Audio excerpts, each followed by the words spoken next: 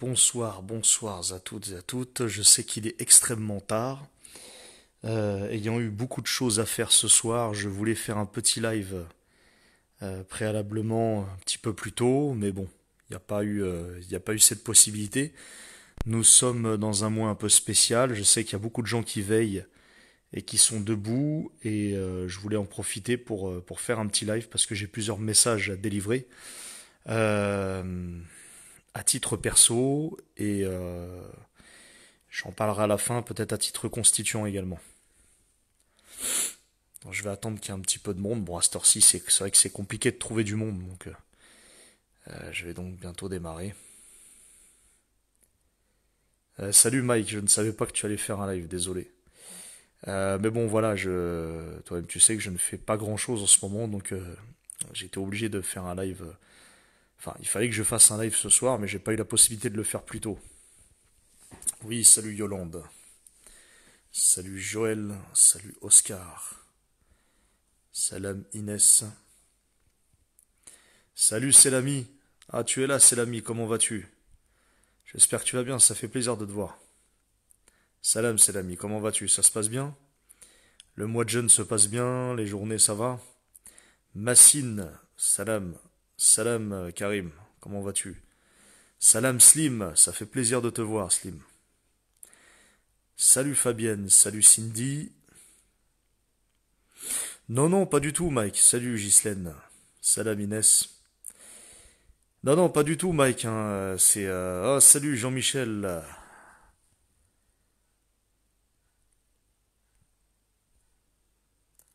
Ça va, ça va et toi, c'est l'ami. Salut, salut. Ah, Salut Catherine, Benjamin, Suleiman, Salam, comment vas-tu constituant du 68 Ça fait plaisir. Bon voilà les amis, euh, pourquoi un live aussi tard? Bon parce que j'ai pas eu la possibilité de le faire avant, c'est un mois un peu spécial, les soirées sont chargées.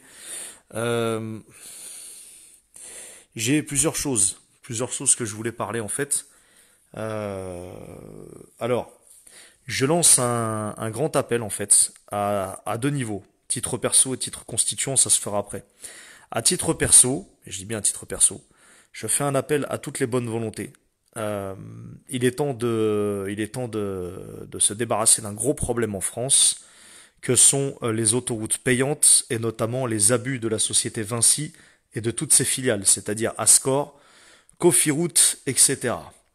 Donc pourquoi euh, ce sujet qui est un sujet qui paraît simple en soi, mais qui est en vérité extrêmement complexe, et qui, euh, au fur et à mesure de nos recherches, euh, on n'arrête pas de découvrir des choses sur le groupe Vinci et son historique.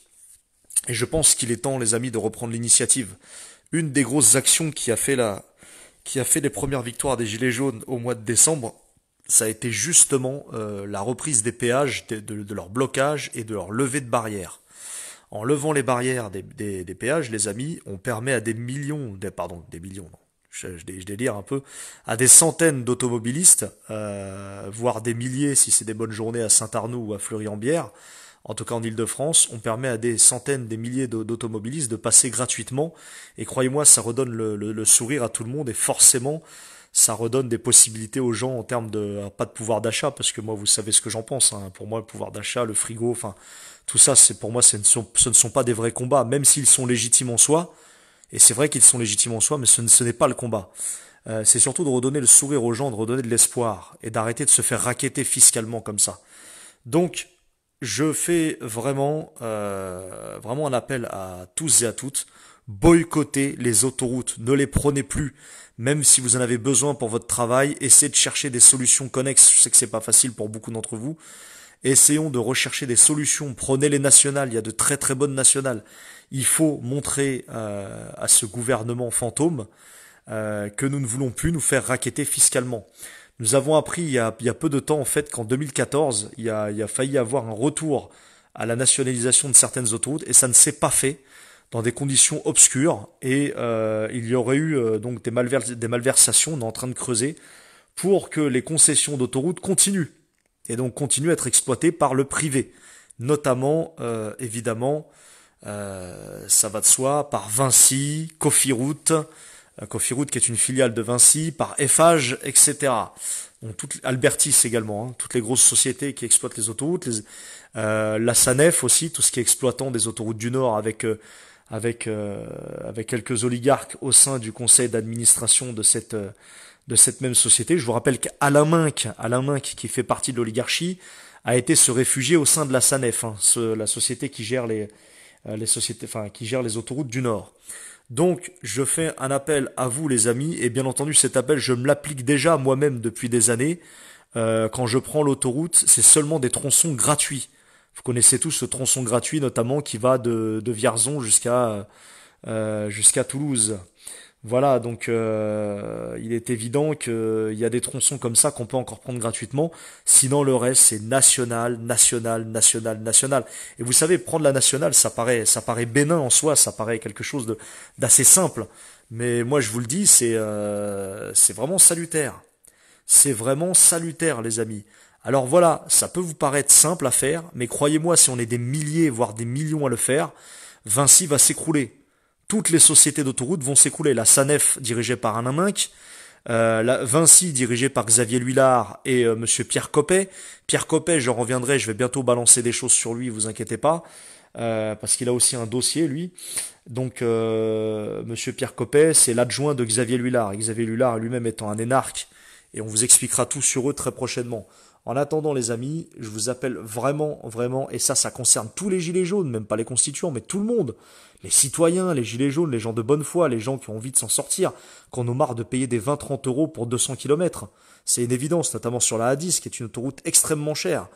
Donc, je vous le dis, les amis, pour qu'on en finisse avec ce problème, et croyez-moi que les gilets jaunes, ce qu'ils ont fait au début, c'est extraordinaire au mois de décembre, quand on levait des barrières à Fleury-en-Bière ou à Saint-Arnoux, je vous promets que ça, c'est vraiment salutaire comme action. Ça rassemble tout le monde, et tout le monde est d'accord avec ça. Il n'y a pas de blocage, il n'y a que des solutions puisqu'on lève les barrières. Donc, j'appelle tout le monde à se rebeller.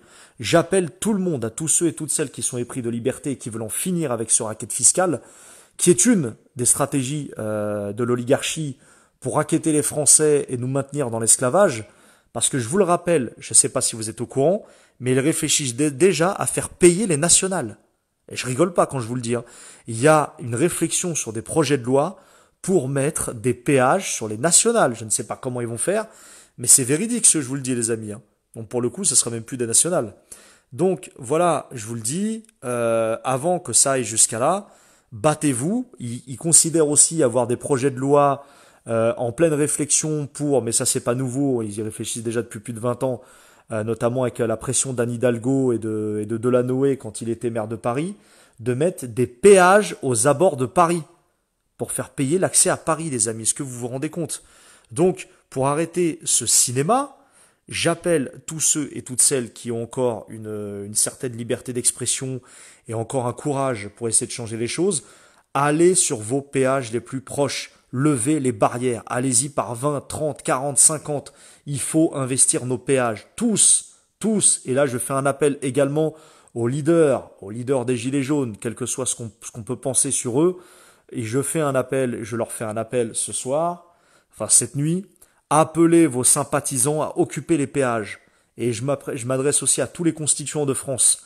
Occupez les péages, occupez-les, levez les barrières, faites en sorte que Vinci perde le plus d'argent possible. Également Eiffage, Albertis et la Sanef. D'accord La Sanef aussi, hein. Des bonnes pourritures à l'intérieur. Il est temps, il est temps de reprendre nos autoroutes en main, les amis.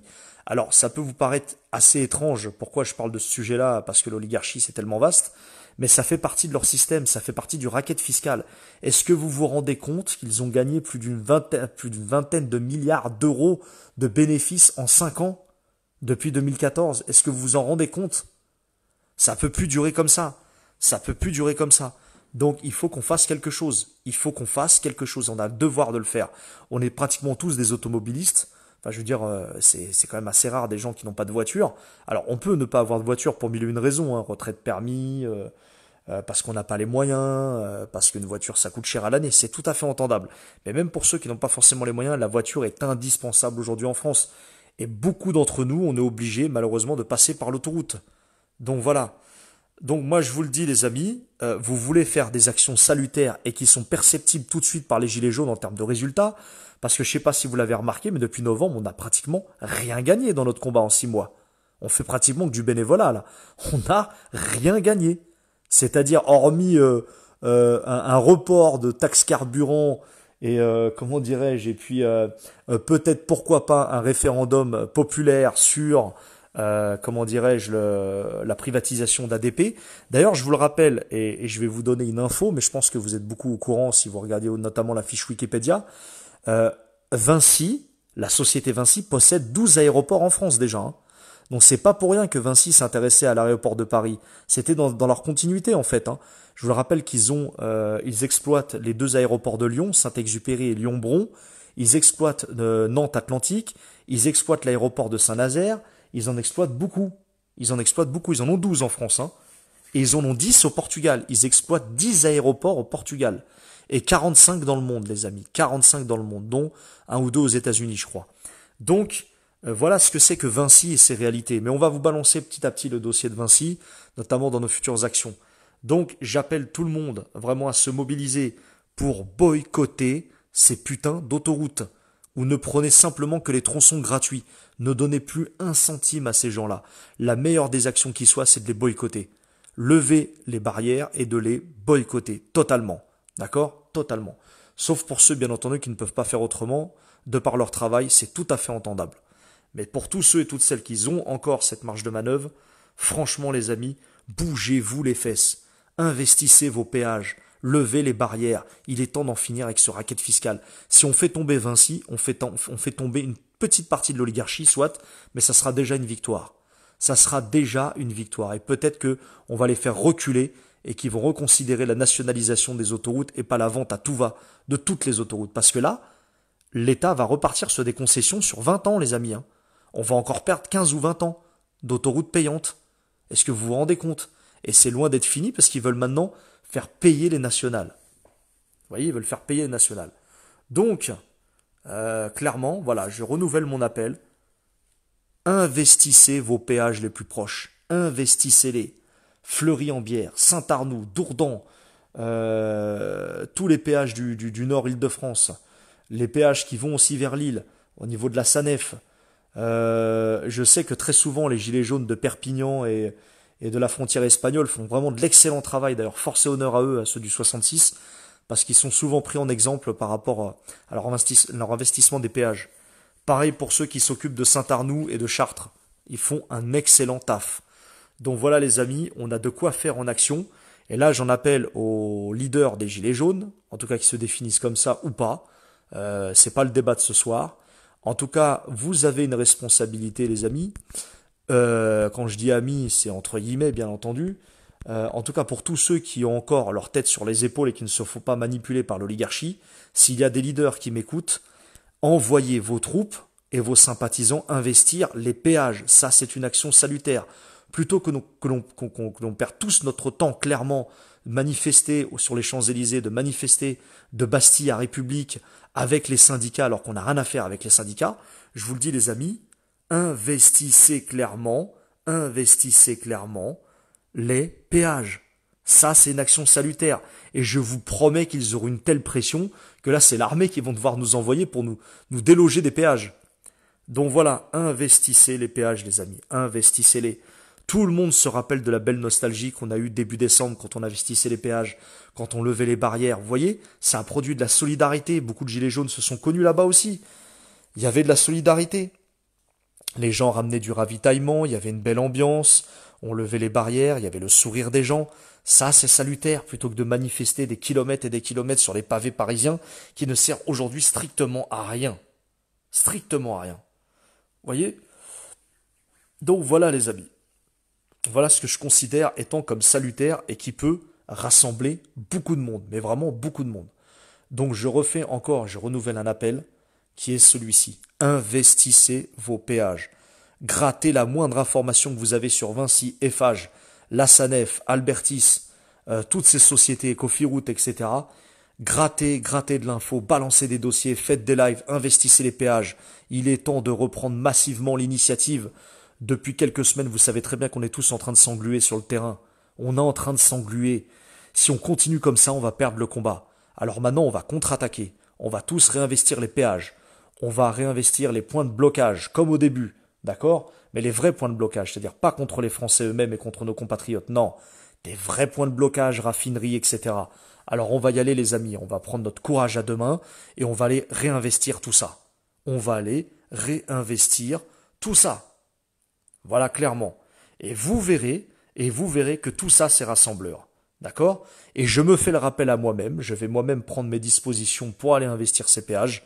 Donc je vous le dis les amis, il est temps qu'on se bouge les fesses. Il est temps qu'on se bouge.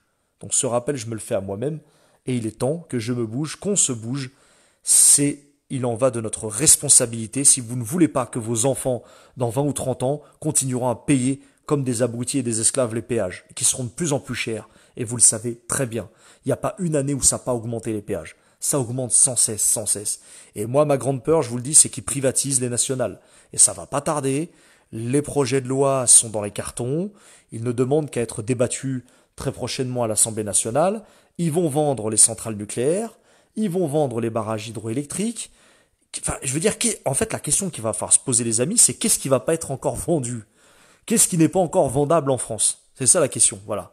Faut se poser la question. Qu'est-ce qui, qu'est-ce qu'ils n'ont pas encore vendu, en fait? Tellement qu'il y a eu de ventes à tout va. Donc, est-ce que c'est ça que vous voulez pour vos enfants? Est-ce que c'est ces pays-là que vous voulez léguer à vos enfants? Ou on va enfin tous se bouger et arrêter de consommer du YouTube toute la journée et du live? Il faut se bouger, les amis, sur le terrain. Et bien entendu, ce rappel, je me le fais à moi-même en premier. Donc voilà ce que je pense, les amis, depuis un moment. Et donc maintenant, il faut reprendre massivement ce qui avait été fait au début et qui marchait très bien. On va reprendre nos péages. D'accord? Si vous voulez les bloquer, bloquez-les. Si vous voulez lever des barrières, levez-les, mais faut investir les péages. Il faut investir les péages. Et là, en termes de nombre de forces de police, le temps qu'ils arrivent, etc. Alors bien entendu, on se fera déloger au bout d'une heure, au bout de cinq minutes, on s'en fout. C'est pas grave, on reviendra à chaque fois. On reviendra à chaque fois jusqu'à temps qu'ils ferment ces putains d'autoroutes et qu'ils les ouvrent au grand public et qu'on ne, dépense pas une seule thune dessus. Vous voyez, euh, les intérêts de la dette que nous payons chaque année, c'est 42 milliards. 42 milliards d'euros en 2018. Et ça, c'est pas la dette, c'est les intérêts de la dette. Est-ce que vous vous rendez compte, les amis, 42 milliards, ce qu'on peut faire Avec 42 milliards, on peut payer nos autoroutes. Avec 42 milliards, on peut entretenir nos autoroutes. Avec 42 milliards, on peut investir dans de nouvelles routes et de nouvelles autoroutes. Et tout ça, gratuite pour les Françaises et les Français. Ça, c'est salutaire. Ça, c'est salutaire et c'est un coup de pied à l'oligarchie. Petit, mais c'est déjà ça. C'est déjà ça. Alors oui, bien entendu, c'est pas croustillant comme le sionisme ou la franc-maçonnerie, c'est pas croustillant comme le nouvel ordre mondial, c'est pas croustillant euh, comme le dîner du siècle ou comme autre. D'accord, peut-être, mais c'est pratico-pratique et ça permet à beaucoup, beaucoup de s'en sortir au quotidien. Et ça fait partie des grosses injustices que l'on que l'on subit et vous le savez très bien, le racket fiscal. Racket fiscal par l'impôt injuste, racket fiscal par des, euh, par des redevances, racket fiscal par les autoroutes payantes. Voilà les amis la réalité. Si vous ne voulez pas que, que demain les nationales soient payantes, il va falloir qu'on se bouge les amis, mais massivement. Massivement. Voilà ce que je voulais dire les amis. Alors je vais prendre, il y a une personne qui voulait intervenir. Mais oui les amis, mais bien sûr, 42 milliards, c'est le deuxième poste de dépenses de l'État. Est-ce que vous vous rendez compte le deuxième poste de dépenses de l'État.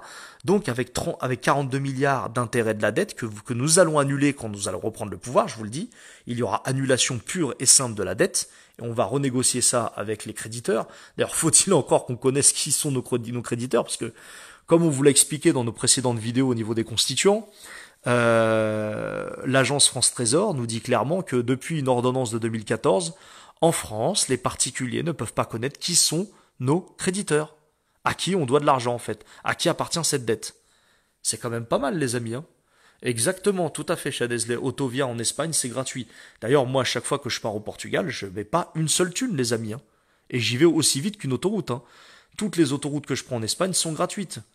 Et celles que je prends en France, c'est tronçons gratuits et le reste que d'un national. Et ça fait plaisir. On visite des villages, on, on voit du beau paysage, mais c'est ça la vraie route. Et j'ai pas besoin de mettre une seule thune dans, non, dans ces putains d'autoroutes, y compris au Portugal d'ailleurs. Allez, je vais, euh, je vais prendre quelqu'un. Alors, c'est qui? Ah, notre ami Jean-Michel, notre ami constituant de la Vendée. Allez, on prend un autre constituant. À toi.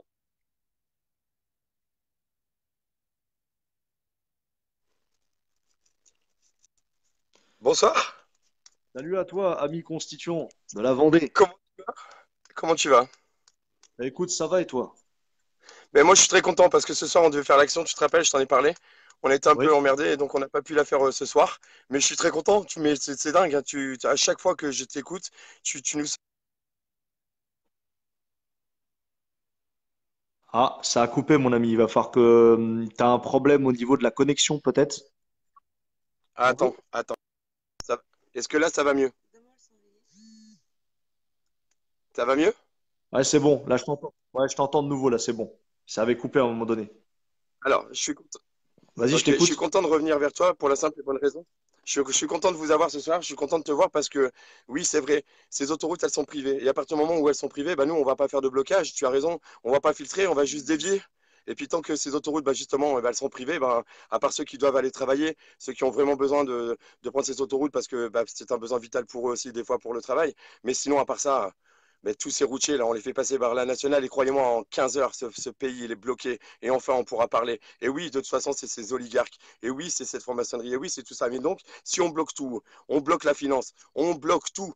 Et donc là, on, on va pas, on va pas se faire emmerder par la police dans le sens où, bah, écoutez, nous, on fait, on fait, on fait pas de blocage, on fait pas de filtrage. On laisse passer, mais on fait dévier. Et là, c'est l'utilité que tout le monde puisse faire ça, justement, pour bien se faire entendre. J'ai pas pu le faire ce soir. Je suis vraiment désolé. Été un peu bloqué, mais euh, bravo, bravo encore à toi, Cyrus, de, d'apporter cette bonne parole parce que j'essaye de le faire aussi de mon côté et c'est vraiment essentiel. Ben, merci à toi. En tout cas, et ne t'inquiète pas. De toute façon, on va, on va mobiliser du monde. Et là, dans les prochaines semaines, il va falloir qu'on passe à l'action. Donc, euh, clairement. Et là, euh, et, et si je parle comme ça en public, c'est parce que justement, je souhaite que ça, que ça se virus dans la France entière. Si Oui, euh, on arrive à tous se mobiliser, à avoir une stratégie commune, et ça pourrait être une première que, que beaucoup de groupes différents de Gilets jaunes, que ce soit constituants euh, ou je sais pas, ou d'autres, ou l'opération Gilets jaunes spéciale, ou convergent, ou tout ce que vous voulez, qu'on arrive à avoir une stratégie commune enfin, et qu'on puisse passer à l'action, à l'offensive, avant qu'on s'éteigne, parce que là, on est en, on est en cours d'extinction. Si on ne réagit pas, vrai. on est en d'extinction. Donc là, il va falloir qu'on agisse massivement, massivement. Justement, alors si je peux, si je peux me permettre, là c'est là, c'est là où justement euh, on a, on a, on va avoir ce réflexe de tous se rejoindre et justement et on va pouvoir re- vraiment recommuniquer à la base. C'est-à-dire que oui, on est, on va, on va remplir les frigos, on va, re- on va revoir ce pouvoir d'achat, on va revoir tous nos droits, mais avant ça, il faut reprendre notre pays, reprendre notre patrie. J'ai eu un petit jeune qui est venu en live me voir et qui me dit, mais on va encore changer? On va encore changer les choses, mais on n'a rien changé encore. On n'a jamais rien fait, nous, en tant que, en tant que Français, dans l'histoire, même jusqu'à maintenant. C'est maintenant qu'on va commencer à faire, à écrire quelque chose on nous a cachés dans l'histoire, on nous a trahis dans l'histoire, on nous a, on nous a endormis dans l'histoire, comme on nous endort encore maintenant, et on est en train de s'éveiller tous ensemble. Éveillons-nous encore et bloquons cette finance, bloquons ce pays, et faisons ensemble que on aille chercher cette constitution citoyenne. Et ben, si, si ces autoroutes sont privées, eh ben, elles vont rester privées le temps que, le temps qu'on reprenne le pays, et puis euh, on va tous passer par les nationales. Voilà. Ça, c'est mon, ça, c'est mon avis, et je pense que si on fait tout ça en France, on va y arriver. Et on va y arriver d'un seul coup. J'ai discuté avec plein de, plein de personnes, des gilets jaunes, mais tout le monde, ils sont prêts à le faire aussi, ils sont en train de se préparer. J'aurais voulu faire ce live ce soir pour expliquer justement, et parce que je, j'y tiens très à cœur, j'ai 40 ans, moi j'ai plus rien à perdre, moi je veux, je veux, je veux que mes enfants soient tranquilles, je veux que ma famille soit tranquille, je veux que mes amis, vous tous, on soit tranquilles et on doit se joindre main dans la main. En tout cas, euh, très bien ce que tu dis, parce que ça donne une idée de, de la future constitution, parce que je vous le rappelle, les amis, si on s'appelle Gilets jaunes constituants, c'est parce qu'on a tous à cœur de réécrire notre constitution, qui, à mon avis, est, une peut-être la seule solution à l'heure actuelle pour sortir de ce marasme oligarchique. Quand on fera chuter l'oligarchie, parce que ça c'est le préalable, hein, abolition de la République et chute de l'oligarchie, tous les Françaises et les Français seront appelés à réécrire la Constitution à travers des ateliers, à travers les communes. On fera remonter ça et c'est les Françaises et les Françaises qui décideront de leur avenir. S'ils veulent une république, une démocratie, une monarchie ou ce que vous voulez, mais c'est les Français qui décideront. Et donc, la Constitution, dans notre Constitution, on pourra inscrire bien entendu la gratuité du patrimoine français. Clairement, gratuité des, musées. Il n'est pas normal aujourd'hui, par exemple, qu'on fasse payer l'entrée au musée. Ça, je trouve ça inadmissible. Alors qu'on a les moyens, euh, on a les moyens clairement, si on redistribue correctement les richesses nationales, on a les moyens, en tout cas, de les entretenir et de faire entrer gratuitement pour que les Français s'ouvrent à la culture. Et les autoroutes, je les vois un peu de la même chose. C'est-à-dire que normalement, nos routes ont été rentabilisées depuis très longtemps. On est bien d'accord Mon. Dieu, mon Dieu, mon Dieu. Rentabilisées depuis plus de 20 ans, 20, 30 ans pour certaines. Donc ça y est, stop maintenant. Ça suffit. Comment ça, on donne une concession à des sociétés privées? Parce qu'encore une fois, ce sont des liens oligarchiques. Alain Minc, qui, je vous le rappelle, est un oligarque, fait partie du conseil d'administration de la SANEF. La SANEF gère les autoroutes du Nord. À Vinci, on a Xavier Luillard et Pierre Coppet, qui aussi ont fait leur classe à l'ENA et dans des réseaux oligarchiques. Alors ça, ça commence à bien faire ces histoires. Et pas étonnant que c'est Vinci qui se pointe en numéro un pour rafler la mise à la vente de l'aéroport de Paris, puisque, je comme je vous l'ai dit tout à l'heure en début de live, Vinci possède déjà 12 aéroports en France. 12. La comédie, elle va durer combien de temps encore? Donc ça, suffit, le ça suffit. On va arrêter cette saignée. Et, le pire, Wilson, hein, écoutez bien les amis, Wilson, tu sais que moi j'avais été fouiller un peu les documents sur, euh, sur justement ces, ces concessions et autres, et tu sais que de telle année à telle année, ils n'avaient pas prévu d'augmentation parce qu'ils savaient très bien qu'il allait avoir ce mouvement des Gilets jaunes et qu'ils allaient forcément faire ces choses-là, tu sais, ils sont prévoyants. hein. Et donc ils ont prévu cette augmentation là, là bientôt, là, fin, fin, fin avril, fin mai, une, une, une grave, une grosse augmentation sur, encore sur le péage qui va, qui va avoir lieu. Justement pour rattraper ce qu'ils ont perdu sur les ouvertures de, bar- de, de- de barrières. Donc euh, il faut absolument euh, réfléchir à ça et se dire, mais finalement, euh, pourquoi ouvrir ces barrières qui finalement c'est de, de l'argent qu'ils nous récupéreront sur des amendes ou autre chose après, alors que si on fait passer tout le monde par les nationales, partout, le pays va se bloquer de lui-même. C'est ça, ça peut être une stratégie intéressante. C'est vrai qu'il va falloir qu'on en discute, mais c'est un regard intéressant, ce, ce, ce blocage qui n'en est pas un en soi, mais qui est plutôt un détournement vers les nationales. Ça peut être intéressant. Faut-il encore, voilà, ouais, il va falloir trouver aussi les, les, les points, les points de, les points de péage où il y a une jonction avec une nationale, hein, comme par exemple la A6 au niveau de Fontainebleau, ou bien le, euh, comment dirais-je, la- l'autoroute qui va en Normandie aux directions de Rouen, il me semble, où euh, là, il y a tout de suite une nationale après le barrage de Mantes-la-Jolie vers, euh, vers euh, il me semble, euh, Passy sur Eure, enfin, ouais, tout ça. quoi. Nous en Vendée, nous en Vendée, nous en Vendée, on a, on a justement Et euh, nous, en Vendée, euh, justement, on a une, on a une entrée d'autoroute qui se trouve à côté de, à côté de Montaigu. Excusez-moi, il s'est brûlé les cheveux, ouais, c'est- désolé. Et il y, y a une entrée d'autoroute qui se trouve à Montaigu. Et justement, c'est pour dévier justement pour aller sur Niort, La Rochelle, et de l'autre côté pour euh, aller sur Nantes. Donc cette nationale-là, déjà, elle est, elle est très intéressante à, à faire emprunter. Et il y en a, y en a plein hein, du côté de Niort, Poitiers, La Rochelle, justement, pour descendre jusque dans le sud. Et à partir du moment où toutes ces nationales seront, seront, seront bloquées, bah là, on pourra en avoir de quoi discuter. Et puis, il y a tellement de ronds-points que vous pensez qu'ils auront le temps de venir nous chercher sur tous les ronds-points. Donc, c'est là l'intelligence. C'est ce, qui aurait dû être fait depuis le début et qui, malheureusement, n'a pas été fait. Mais c'est pas grave. Il faut prendre de ces, erreurs. Il faut prendre aussi de tout ce qui a été fait en tant qu'acquis et euh, continuer comme ça et avancer ensemble. Ça, c'est ça le plus important. Donc voilà les amis, j'en appelle à la France entière, à tous les gilets jaunes qui m'entendent ce soir, à tous les gilets jaunes de France et de Navarre, à tous ceux qui veulent en sortir de ce marasme oligarchique, à tous ceux qui veulent mettre fin à ce racket fiscal autoroutier. Et là ce soir, il s'agit du, su- du sujet épineux des autoroutes. Mettons fin à ce racket une fois pour toutes. Que des milliers de gilets jaunes se dispersent sur tout le territoire, aillent reprendre les péages reprenons nos putains de péages. Reprenons nos putains de péages et on va leur montrer massivement que non, on n'a pas perdu, non, on s'est pas endormi, non, on s'est pas englué dans les manifs, on va contre-attaquer, on va riposter. Et je fais un- vraiment un appel à toutes les bonnes volontés. Bravo.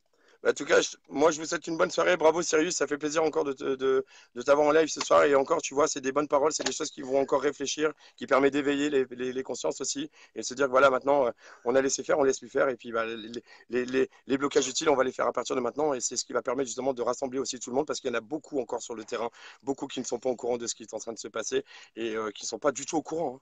C'est dingue. Donc, il y a beaucoup de communication à faire justement pour ramener euh, plus de monde avec nous. Je Bonne soirée à toi, mon ami. Merci à toi. Merci. À plus tard. Ciao. Ouais, je voulais répondre à Simon Géa. Simon Géa, arrête avec tes, avec tes conneries. On va pas bloquer. On t'a dit qu'on allait lever les péages. On veut lever les barrières pour que Et justement permettre à des gens qui n'avaient pas forcément les moyens ou euh, à qui ça, euh, ça pesait dans le budget au niveau de, de- de- de- des, péages autoroutiers, de leur permettre de passer gratuitement. Et en plus, on prend nous des risques. Donc on se bouge le cul à ta place. D'accord Et on bosse pour ton avenir. Donc la moindre des choses, ça serait justement de nous encourager. Et bien sûr que ça met tout le monde d'accord. C'est, pour ça. Moi, moi, ça, ça m'a, ça fait une semaine que ça me trotte dans ma tête. Je me dis quelle, quelle serait l'action qui finalement pourrait unir tout le monde? On voit bien que euh, aller devant, euh, enfin ce qu'on fait très souvent nous au niveau des constituants, ça c'est, enfin on essaie de montrer le, bien fondé de ces actions-là, mais ça ne met pas tout le monde d'accord. Au moins les autoroutes, ça mettront, ça mettra tout le monde d'accord. Et là, je fais un appel aux dirigeants de OP Gilets jaunes spécial que euh, dont je connais un en particulier. Si tu m'entends, mon ami, mobilise tes troupes sur les péages, d'accord? Aux Gilets jaunes du 66, continuez à faire ce que vous faites au niveau de, au niveau de la frontière espagnole, c'est juste excellent. Vous êtes un modèle pour nous tous. Au groupe de Saint-Arnoux, au groupe de Fleury-en-Bière, continuez, ne lâchez rien, continuez à vous mobiliser sur les péages. Et je fais un appel à tous les constituants de France, à tous ceux que j'ai déjà eu au téléphone ou autres. Mobilisez-vous partout où vous êtes. Partout où vous êtes, mobilisez-vous sur les péages, vous prenez les péages. On va réinvestir tout ça massivement et de manière nationale. Et ça peut être une stratégie, ça peut être le début de quelque chose, d'une vraie convergence pour le coup, euh, en termes d'action, je dis bien en termes d'action. Voilà.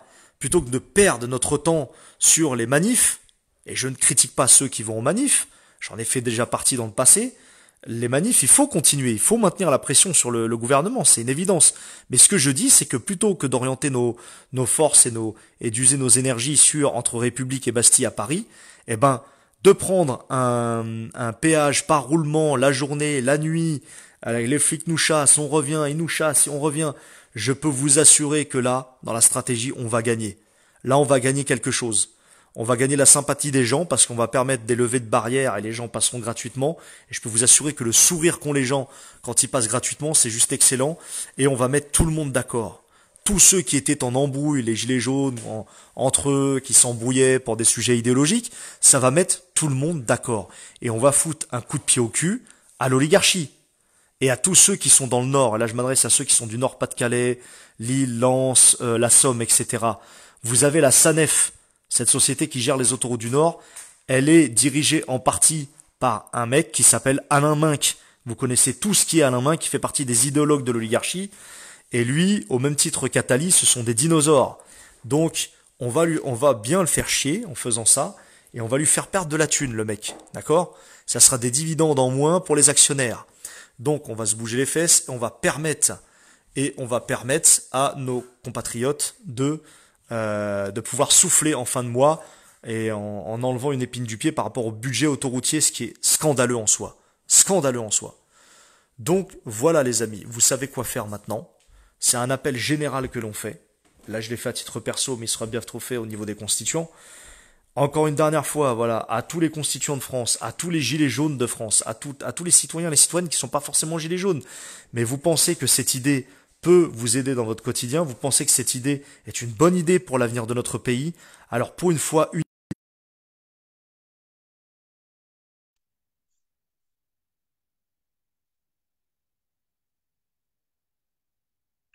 Il y a un refus, Christopher, ça veut dire que tu n'es plus connecté ou bien tu as un problème de... Je réessaye, ou bien il y a un problème de connexion, visiblement.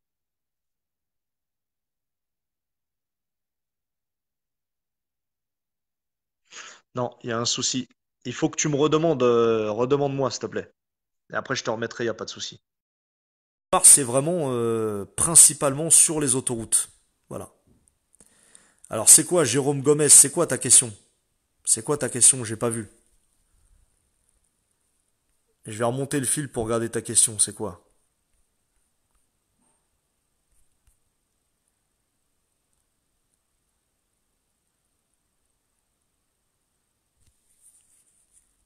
Le patron de Facebook, le patron de Facebook, il fait partie du problème.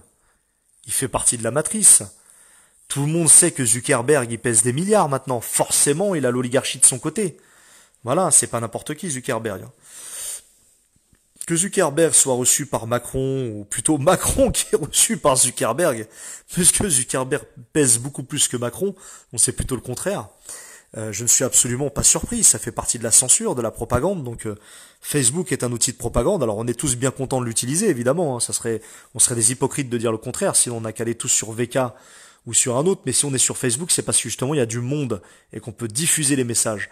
Si ça tiendrait qu'à moi, je vous le dis, en tant que constituant, j'aurais plus rien à foutre de Facebook et j'aurais quitté Facebook depuis très longtemps. Mais comme il y a du monde euh, qui peut se rencontrer, il y a du monde qui peuvent se parler, et que malheureusement les gens ne migrent pas massivement vers VK ou vers d'autres systèmes, bah on est encore obligé de rester sur Facebook.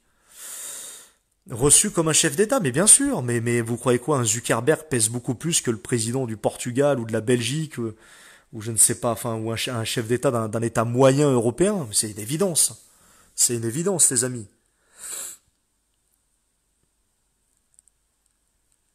Un long message, Jérôme. Bah écoute, j'irai voir, mais euh, ouais, ok, j'irai voir. J'ai pas eu le temps de l'occasion. Tu me l'as envoyé sur Messenger Donc voilà les amis, bon bah je vais. Le but c'est que vous, savez très bien que j'aime pas faire des monologues.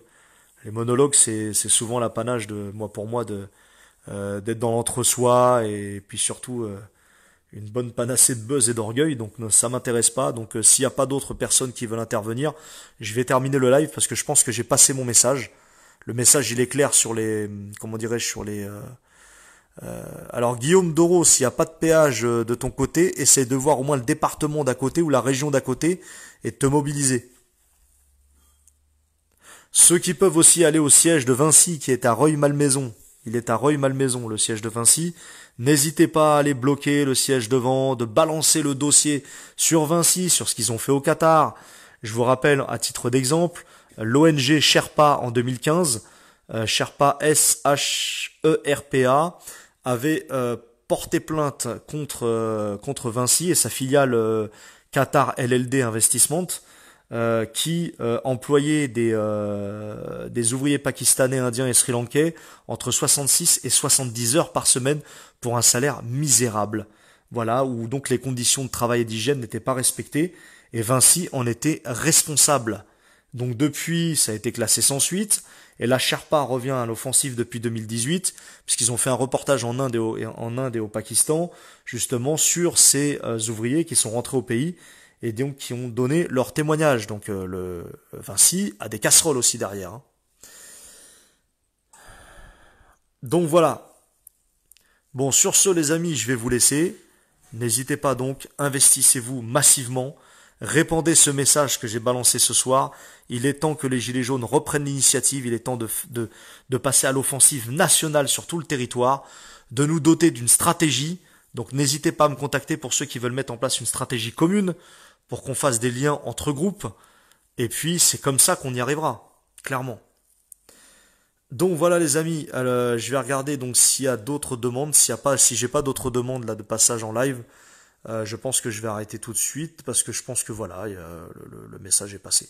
Voilà, sur ce les amis, euh, voilà, en espérant que ce message arrivera à à tous les groupes de gilets jaunes, à tous les leaders de groupes de gilets jaunes et à, tous les groupes indépendants, à tous ceux qui croient encore en la justice et au rétablissement euh, de notre pays et qui pensent à l'avenir de leurs enfants, il est temps de réagir massivement dans des actions conjointes. Voilà les amis. Sur ce, je vous laisse.